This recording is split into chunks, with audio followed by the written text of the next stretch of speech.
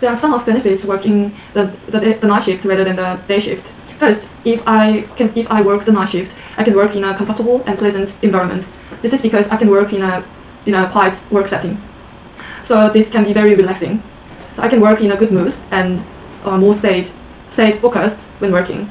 Uh, second, when I work the night shift, I can get my work done quickly and finish work on time. This is because there are no distractions at work. So I can work well and be more productive.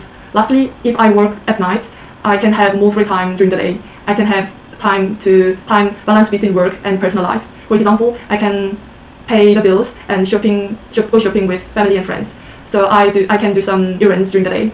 They are the benefits of working the night shift.